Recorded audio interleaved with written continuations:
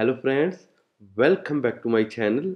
In this video i'm going to show you how to end call with power button or side button on iphone ios 16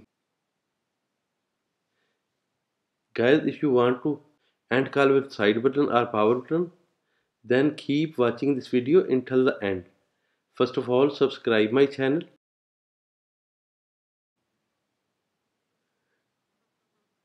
Firstly click on settings app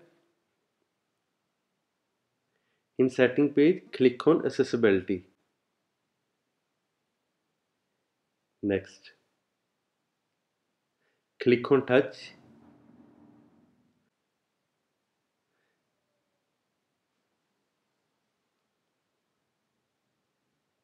Prevent the side button from ending the current call. Turn on prevent lock to end call.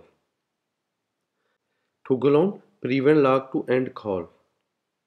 Guys, if this video helpful for you, please like, share and subscribe.